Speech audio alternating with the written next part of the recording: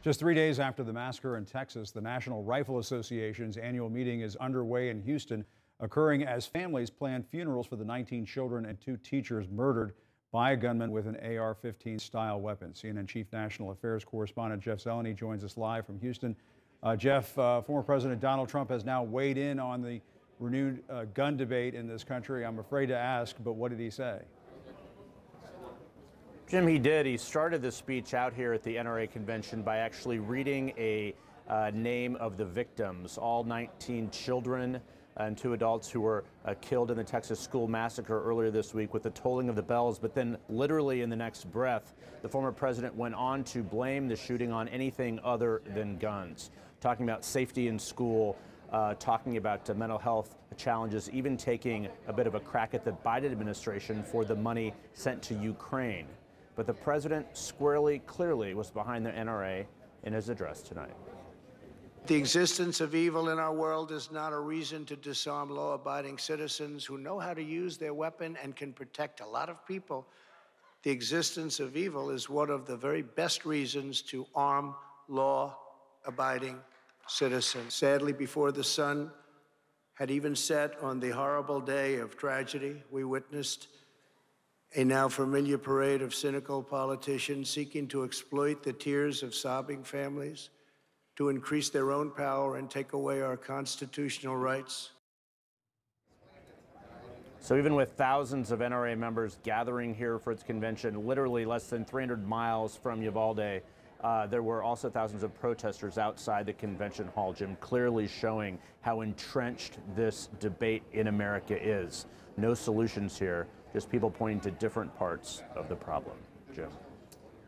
All right, Jeff Zeleny in Houston, thank you very much. Let's discuss with former Ohio governor and CNN senior commentator John Kasich, along with USA Today columnist and CNN senior political analyst Kirsten Powers. Uh, governor Kasich, um, how exactly does the former president rail against cynical politicians? I guess is what he was saying a few moments ago, exploiting this well, tragedy. It, it, I mean, he's at the NRA convention. Give me a break.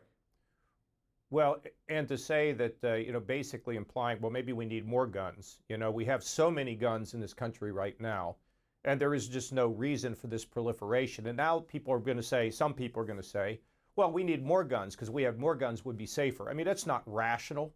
It's ridiculous.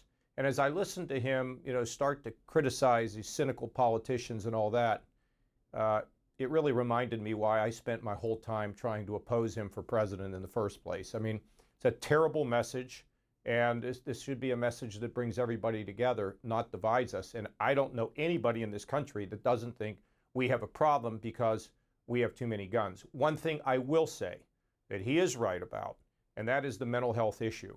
And not just for adults, but for our children as well.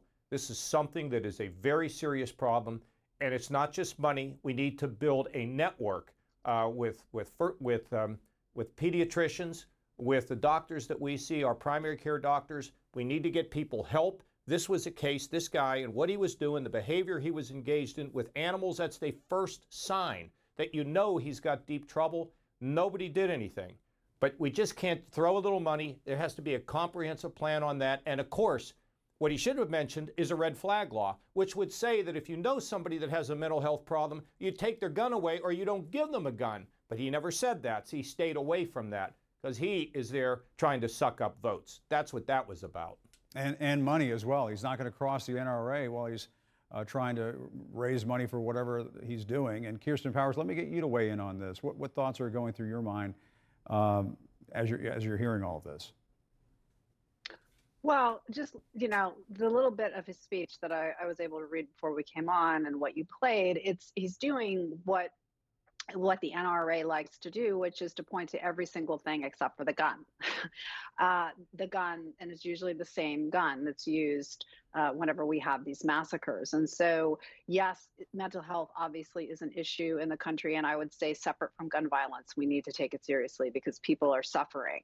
And, um, but, you know, there are mentally ill people in other countries. The difference is we don't arm the other countries don't arm them with semi-automatic weapons. So I think there are other things that could be done. I, I should also mention that that uh, that Donald Trump also blamed broken families for this. Um, he's been divorced twice. So it, it, the problem is the guns. And so we have to do something to keep to keep Yeah. these guns out of the hands of dangerous people.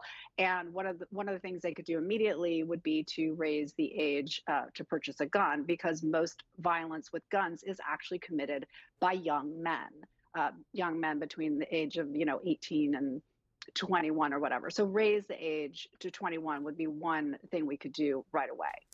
What do you think of that, Governor? And comprehensive background, comprehensive background checks. That's another thing that should be done. And by the way, to the politicians who live in fear of the NRA, let me tell you, in 1994, I voted for the assault weapons ban.